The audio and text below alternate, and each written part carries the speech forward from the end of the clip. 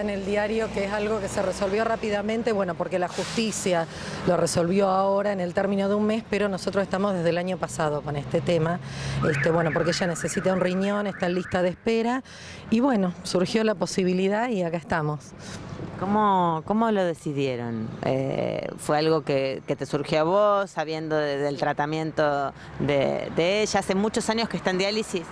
Sí, hace un tiempo que está en diálisis y bueno, el año pasado cuando ella me comentó que entraba en lista de espera, eh, yo se lo ofrecí, ella se resistió, la verdad al principio no, no, no estaba muy convencida, pero bueno, yo insistí que sí, que me parecía que era una posibilidad y bueno, avanzamos con los trámites, lo que pasa que el tema judicial, eh, con el tema judicial estamos desde diciembre.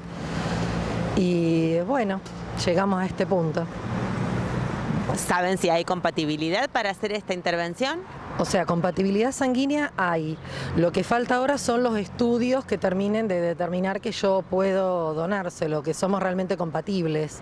Así que bueno, está, falta esa parte todavía, pero si eso prospera, enseguida viene la operación. ¿Cómo son las historias de ambas? Teniendo en cuenta que, bueno, es una decisión eh, que, que- que me, me imagino que habrá implicado algo, ¿no? Eh, esto de, de- de saber que podés ayudar a mejorar la vida de alguien, en este caso de tu amiga. Sí, o sea, yo eh, de mi parte es algo que yo siempre pensé que si se me daba la oportunidad lo iba a hacer y bueno, lo charlé más o menos con mi familia porque en realidad yo tenía la decisión ya tomada.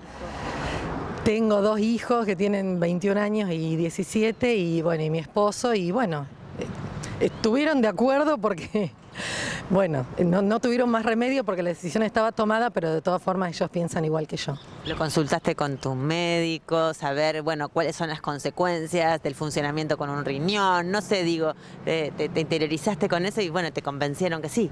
Es- no, en realidad porque esa es una parte obligada de, de los pasos para la donación.